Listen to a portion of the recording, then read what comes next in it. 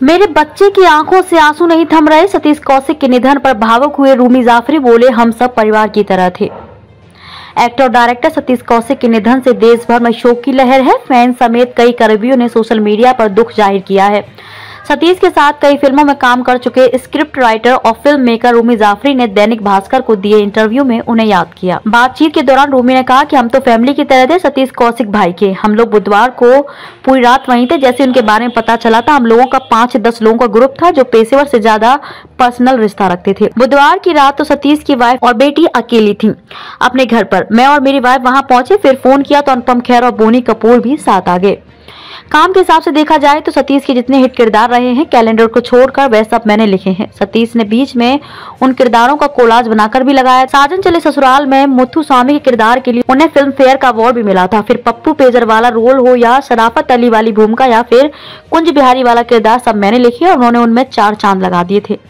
सतीश बेहद पॉजिटिव मिजाज वाले इंसान थे। फ़ोन पर भी हमारी बात होती थी। वे आधे घंटे से कम नहीं हुआ करती थी।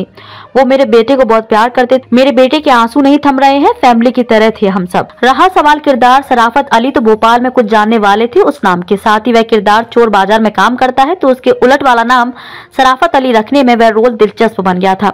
हमने उसी किरदार से फ़िल्म बड़े मियाँ, छोटे मियाँ की शूटिंग शुरू की थी। हमने महबूब स्टूडियो में सेट लगाया था। अब तो सतीश बड़े हेल्थ कॉन्सियस भी हो गए थे रेगुलर वॉक किया करते थे वेट कम किया था उन्होंने, दिल्ली भी जिस फ़ंक्शन में वो लास्ट गए थे, वहाँ रात नौ बजे ऑन टाइम डिनर कर लिया था, उन्होंने साफ़ कहा कि भाई हो गया, वह बड़ी डिसिप्लिन लाइफ जी रहे थे इन दिनों। एक बार की बात है कि मेरी वाइफ का बर्थडे था, सतीश और अनुपम ने सरप्राइज़ ये दिया कि उन्होंने मेरी वाइफ का टिकट बुक कर भोपाल बुला लिया। सब केक तैयार किया गया।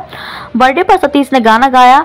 वह सब याद कर मेरी वाइफ सतीश के गुजर जाने पर काफ़ी रो रही थी। सतीश की अच्छी चीज़ यह रही कि उन्होंने एक्टिंग के अलावा भी खुद को एक्सपेंड किया। उनकी डायरेक्शन की इनिंग भी बेहतर रही। वह चाहे तेरे नाम हो या हम आपके दिल में रहते हैं और हमारा दिल आपके पास है और मुझे कुछ कहना है, वह सब सुपरहिट रही।